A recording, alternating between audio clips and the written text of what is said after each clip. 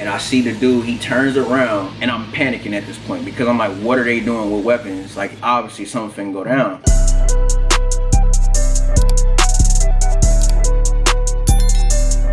all right you guys so this is like the first time that i've told somebody about this story before we get started be sure to hit that like button it helps with the algorithm so that this video can be recommended and reach out to more people so share this with a friend as y'all read the title let's just get straight to it so this happened around the time I was deployed to Syria at the time in 2018. Syria is very beautiful. Like the, the area we was in for security reasons, I'm not gonna really describe everything. It was a couple of like farms and stuff nearby. At nighttime, it was just beautiful. There was no clouds in the sky. There were stars out there. This is what our tent used to look like. I'm gonna scoot over and put it there. And as you guys can see, it just has a dark kind of vibe to it. You get what I'm saying? At nighttime, when you would turn in your bunk, you would hear rats sometimes scattering around. We would get the little mouse traps out, you'll go to sleep, wake up, it's a dead rat in the trap. But I ain't gonna complain about it. It is what it is. It's an, it's an experience. It molds me who I am today. This particular night, it, it just something just didn't feel right.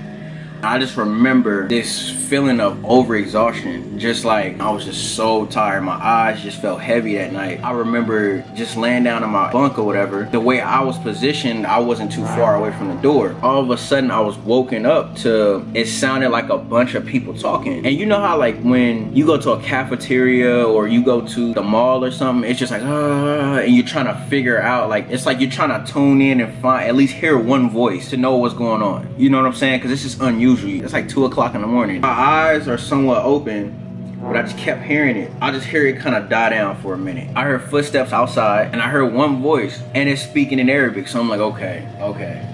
I don't know what's finna go down, but why are they so close to our tent and why are they chit-chatting and everything? Obviously, they plotting something. My first instinct, if my if my rifle and it's loaded is up here, I'm gonna bring it close to me just in case I gotta, you know. But then I realized I couldn't even lean up. I'm stuck.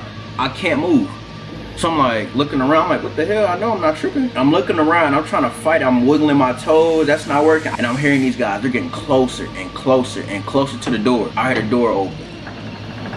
Then I hear one one footstep.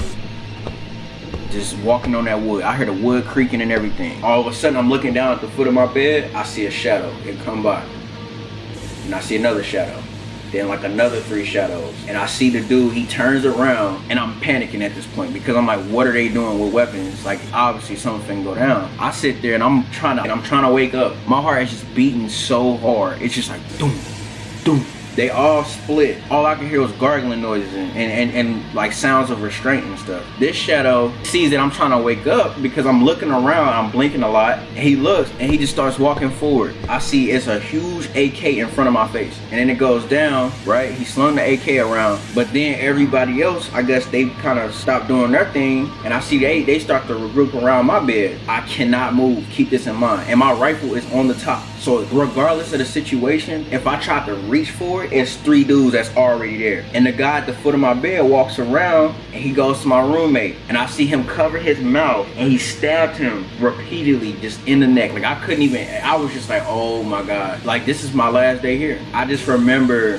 for some weird reason, it was like white noise. My heart was just thumping and thumping and thumping like non-stop. The other one, it looked like they pulled, they both pulled something out at the same time. It looked like a knife or something. And they were just standing there. And when the guy at the head of my bed, he goes, he squats down and he gets close to my face like this. The whole bed is just shaking.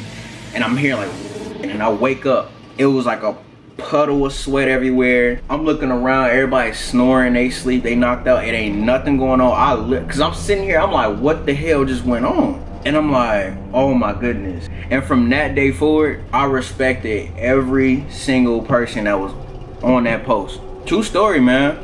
That was a humbling experience. I appreciate y'all for watching, man. Thank you guys so much for 100 subscribers still to this day. I appreciate and I love every single one of you guys. But until then, peace.